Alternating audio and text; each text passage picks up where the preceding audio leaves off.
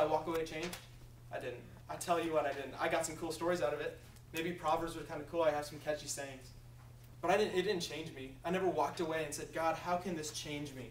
And I think the main way we need to do that, if we go back to our main point, is through prayer.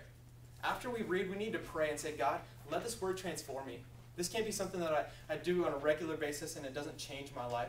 So if, after you're reading, I'm encouraging you to pray.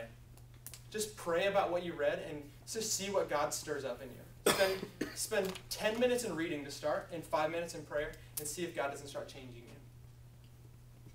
From here, I'm going to conclude. Um, I have a verse to conclude with. It's not on your outlines, but I'd love for you to write down the scripture reference. It's Romans 15 4. For everything that is written in the past is written to teach us, so that through endurance and encouragement of the scripture we may find hope. There's a hope we find in Jesus. I'm telling you, there's a hope we find in this gospel. In this good news, there's a hope we can find. And so if you guys want to pray with me right now, I'm going to ask you guys some questions. Just lower your heads and close your eyes. And God, God, today we come to you and we wonder, what do you want from us? And if this is the time where you want us to come to know you better, we pray that we come to you and we know you in your full glory and your full strength. And I challenge everybody here to read their Bibles on a daily basis.